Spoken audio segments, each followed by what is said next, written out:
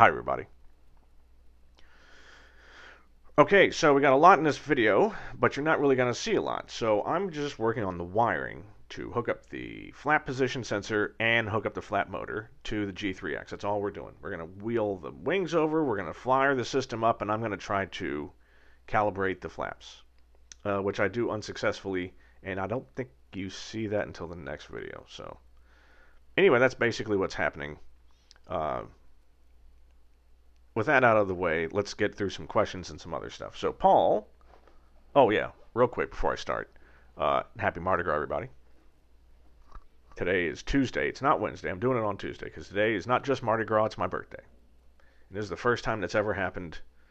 Who knows if it'll happen again? So I'm taking full advantage. So I'm, I'm just going to go ahead and do these. I'm, I'm narrating everything now uh, because I don't know what kind of shape I'm going to be in to narrate in the morning.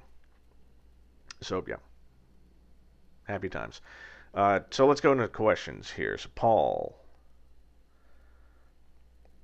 Will you be painting your plane polka dot zebra? No, Paul will be using vinyl, blue vinyl. I believe there's a video somewhere. You will see it soon because we're going to try wrapping some of this stuff. Uh, less cost, less weight, more flexibility, and I can have it printed. I could just have whatever I want on there. Two, doing the upholstery, El- velour Elvis print. No velour Elvis print. Uh, I, Classic Aero is doing my seats. I've put a deposit down. Um, not 100% sure. I think it's about July is they're, they're going to send the seats. So uh, when July rolls around, you'll see a little something soon.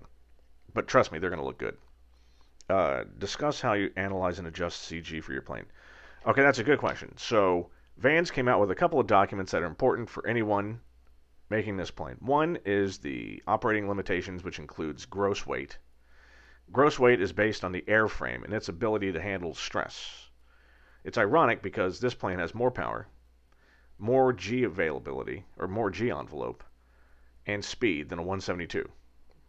Yet the 172 has like 300 pounds gross more weight availability, right? So it's all just about the frame.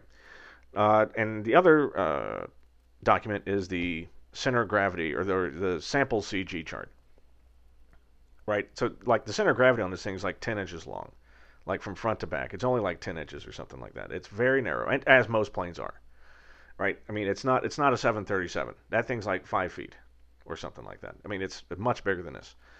Uh, and there is a problem in this model. Some people have experienced some CG issues where, you know, you got a single pilot, a lot of baggage in the back, and low fuel because the fuel's on the leading edge of the wing. And as you use the fuel, it naturally moves backwards. So a lot of fuel, or I'm sorry, no fuel, single pilot, or or heck, uh, yeah, single pilot and baggage in the back. It can it can the center of gravity can get out of the back, much like the Krakola that I'm showing you right there. Uh, and that's actually might be an issue for me because I've the prop I plan on using is about 20 pounds lighter than a standard prop, right? So the prop you put on the front is very specific weight and all that. Now, it's center of gravity, right? Theoretically, like if I got an engine that only weighed, say, half of what it does, so the Lycoming's like 310 pounds. If I got a 150 pound turbo prop, well, I could use it in the front, but I would have to move it so far forward that the gravity of it based off of the firewall felt like a 300 pound motor. You know what I'm saying? That so it's possible, course, then it screws up. Then you got center lift, center of thrust. It's you know, it's it's. A, I'm not touching any of that. No. Worst case scenario, I can always put a much heavier uh, alternator on the front because I mean, weight's not really an issue. I'm going to be able to have myself, another pilot my size, full fuel and full baggage, and have weight left over. There you can see the G3X is fired up.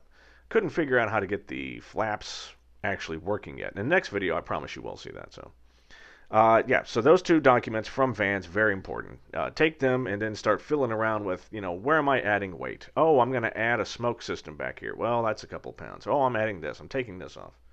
You know, I'm not going to have mags. Got to take that off. So uh, that's where you can start experimenting with that. Uh, in the next video, next week, we're going to be doing some more G3X work. See this work with the flaps, and we're to get back into the finishing kit. So, see you soon.